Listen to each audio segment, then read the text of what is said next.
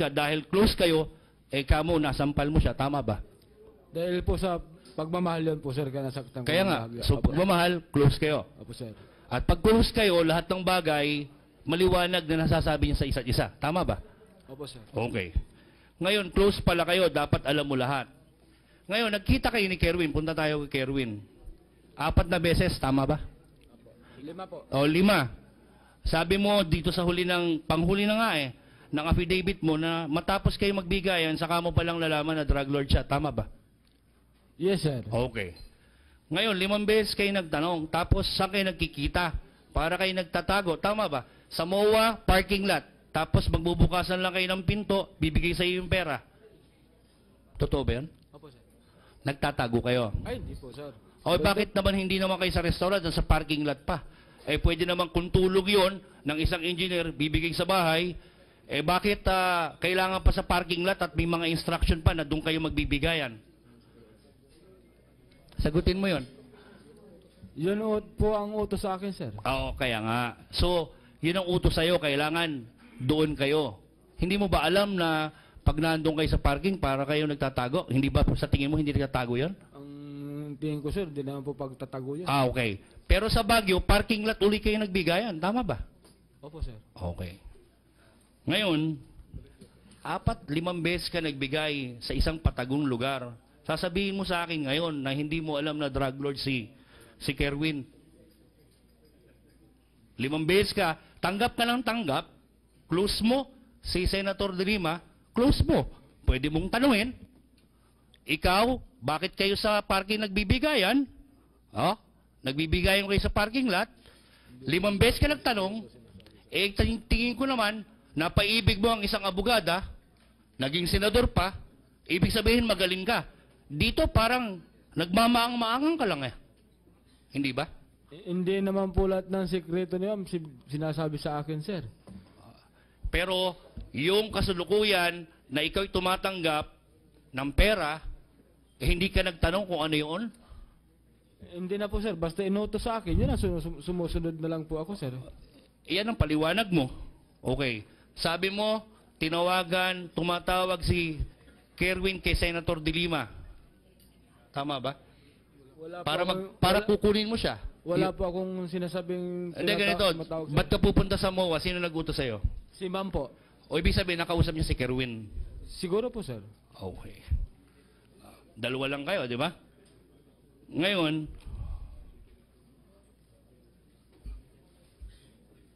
close kayo, may mga bagay na mag iisip ka kung bakit mo nakukuha yung pera, then ngayon drug lord, hindi ko kayang explain. Pero you can easily say na siya ay hindi drug lord at hindi mo rin alam kung saan galing ang pera.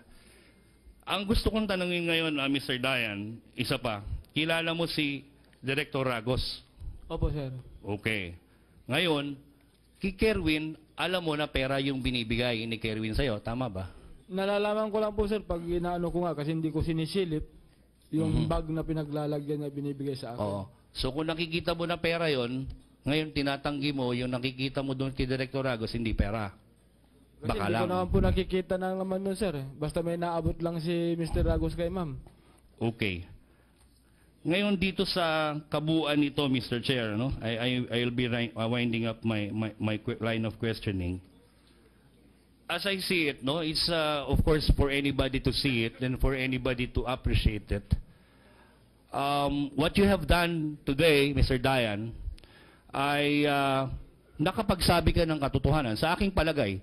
Kaya nga sabi ko, dito napapatunayan mo kung karapat dapat yung palayan ng Kongreso dahil may mga bagay ka naman na sinabing tama.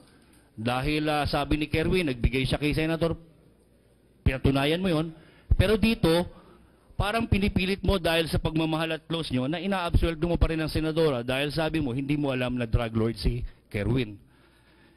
Ang akin lang ah, gustong sabihin sa'yo, medyo sumala ka lang sa affidavit mo kasi parang masyado siyang uh, crinaf ng maayos. Doon lang na sa Baguio na mismong tumanggap ay si Senator De Lima. I am just telling you that, alam mo, pinatawag rito, ah, napakasikat na ng, ah, ng kasong ito, ito posibilidad ang isang magsisimula ng isang bagong buhay sa Pilipinas. Pero yung affidavit mo para sa akin is nothing but an affidavit of a macho man trying to impress some veracity of truth. But truth in fact, you were trying to absolve yourself and Senator De Lima. I am sorry to say, later on, if I will be asked to vote, whether you will be, you will be given that liberty after questioning, after the questioning of all the congressmen, I doubt if I will be voting for you to give to be given that liberty. Para sa akin kasi gusto mo lang sabihin yung pwede na pwede mong sabihin pero yung pwede mong itago, itatago mo. Malinaw dito, hindi ka pwede magsinungaling sa akin. Ang hindi ko lang alam kung ganun din ang pagtingin nila. Sabi nga, the truth is in the eye of the beholder. But as I see you, you are just here because you have nowhere to go. Wala ka nang lulusutan pa dahil huhulihin ka. Pero ang katotohanan, inarkitekto mo yung affidavit mo para sabihin lang yung gusto mo. Because you can never deny the circumstantial evidence na drug lord, drug lord si Kerwin at na nagbigay ng lahat ng pera kay Senator De Lima ay drug lord din. Hindi mo pwedeng itanggi sa mga mata mo yung nakikita mo at magmamangmangang ka lang sabihin dito yung katotohanan. I'm just trying to say this one because at least probably until this afternoon you will have your day to think about, to think twice whether you're really cooperating with Congress so the truth may come out for the betterment of this government. With that, uh, Mr. Chair, I am uh, ending my interpellation. Thank you, uh, Congressman uh, Vice Chair Letion. Uh, sino? Sige, Please uh, continue. Next is uh, Honorable Akop. You Thank you. have you have uh, an additional three minutes, uh, courtesy of uh, uh, Congressman Ferrer, Luis Ferrer. May I Thank proceed, you. Mr. Chair? Marami pong salamat. Ah, Mr. Dayan, ah, kailan po kayo nagsimula na maging driver ni Senator De Lima? 2007 po, sir. 2007. 7 po.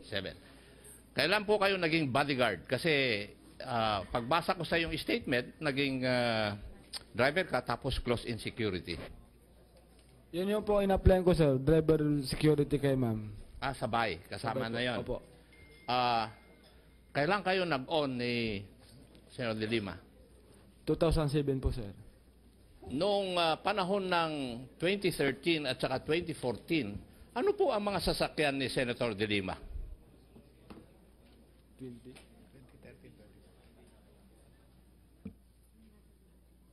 Sa personal niyang sasakyan, sir, Starix lang po. Yung bigay ng sa ano ng DOJ, Fortuner, saka Starix din po. So, ang sinasabi po nyo, ang personal car niya is, is Starix Starex. din po.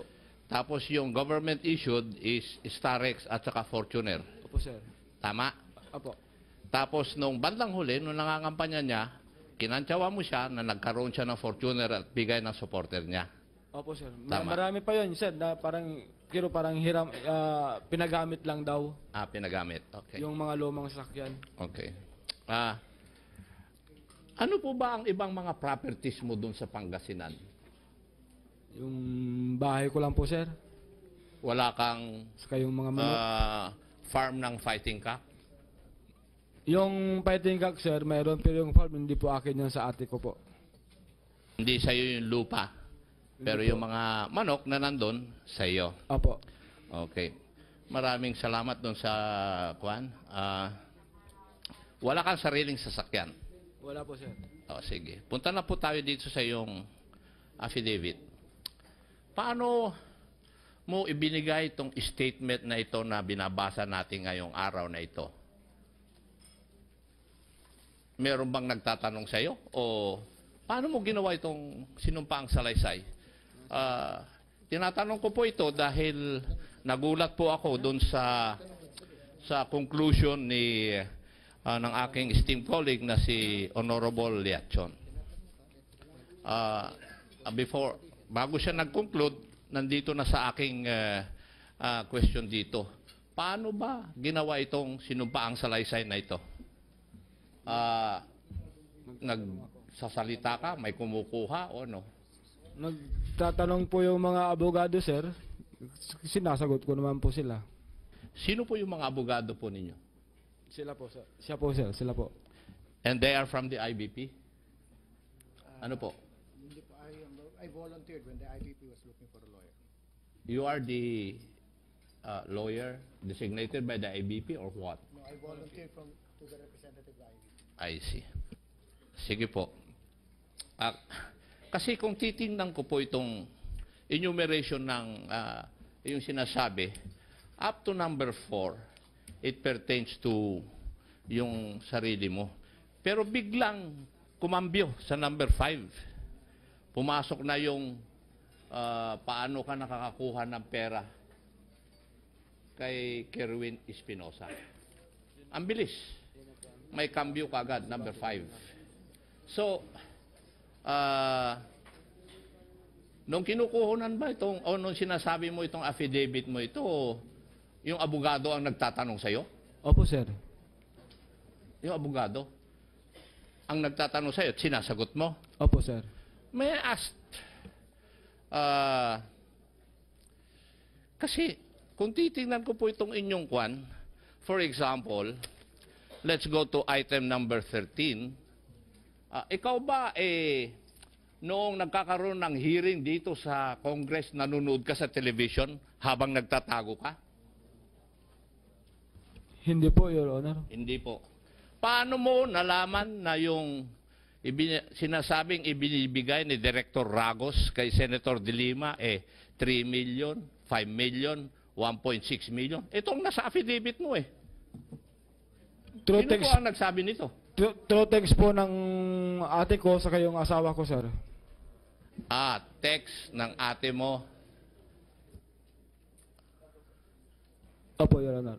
3 million, 5 million, 1.6. Di ba? Yes, Your Honor. Oh. Sinabi mo rin sa iyong statement na hindi mo kakilala yung mga taong inimbita rito na nag implicate kay Senator De Lima, kagaya ng mga naandun sa Muntinlupa, sa National It. Tama? Pero kung titingnan po natin, sa number 17, memoryadong memoryado mo, pati first name eh. Ano na? Alam mo, ah, pwede mong lokohin siguro yung mga ordinaryo na tao, pero sa akin bilang investigador, eh, hindi pwede ito. Tama po. Paano mo memoryado yung first name ni Magleo? Ni Durano, samantalang sinabi mo, hindi mo kakilala itong mga ito. Tapos ngayon, nung tinanong ka ng abogado, na enumerate mo na itong mga pangalan, first name pa nila. Your Honor, Uh, may I know, Mr. Chair, if the lawyer can answer for the uh, resource speaker?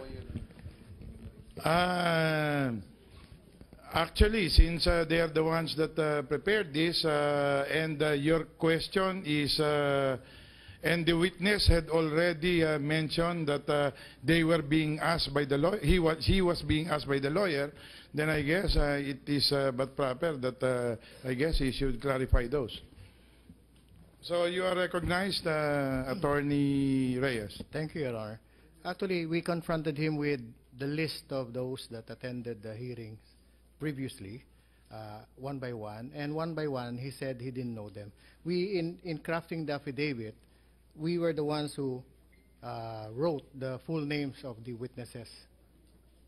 It's not his. Uh, but we confront him in each of the names, and he denied them, except for uh, Director Ragos. Kayo po ang nagbanggit ng mga pangalan. Yes, sir. And uh, kayo rin po, alam nyo rin po yung mga first name.